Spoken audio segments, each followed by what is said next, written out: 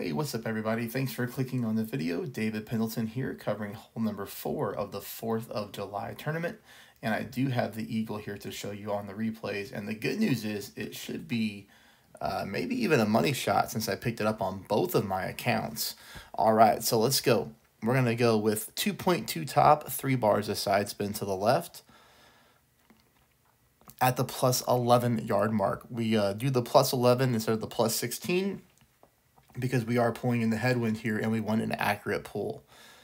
You could play this shot with a katana as well, just so you know, but you do need to go with a little bit of overpower. So, since we're in the final round, I went ahead and spent up on the Kingmaker just to make the drive a little bit easier. And don't forget that uh, left curl as well.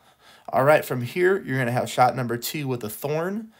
I'm going to play at 10% at mid. I'm going to go backspin to the hole, but important to make sure you put on this little dash of right side spin here.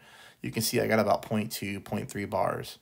Ball guideline going through the center of the cup, ball guideline pointing out the back of the cup as well. Always very important to remember to do that with your thorn in a headwind angle. From here, you hit perfect. I dropped it in practice once I found this setup. And then, of course, like I said, I dropped it on both of my accounts in real mode as well.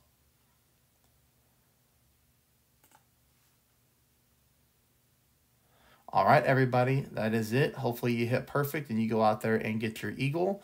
That is going to be hole number four. Please subscribe. Please hit the thumbs up. I'll see you soon for hole five.